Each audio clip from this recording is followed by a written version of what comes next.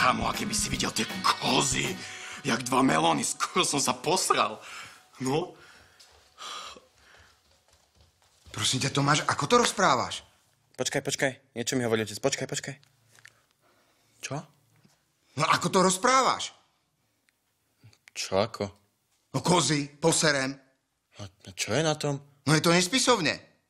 Tak a, a čo mám povedať, že mala veľké ňadra, že som skoro odpadol? Prosím? Takže tebe vadí jeho slovenčina a nie to, čo práve povedal? Akože kozy to je hrubé a ňadrá to je v pohode? Ale nie, no, tak ja som chcel tým len povedať, Tomáš, že... takto sa o častiach ženského tela nebudeš vyjadrovať. No ale keď poviem super cecky, tak e, to ti tiež vadí. No cecky tiež nie je spisovne. A je to zároveň aj neúctivé k dievčatám. A čo tak? Dobré nárazníky, ha? Tomáš, rodina. Nechcem z tvojich úst počuť ani ňadra, ani kozy, ani cicky, ani cecky, ani dyne, ani melóny, ani, ani lajdáky, ani nárazníky. Je to jasné? Za prvé, je to nespisovné a za druhé je to odporné. Nie, fakt. Prisahám. Áno, moja mama. Dobrá je, čo?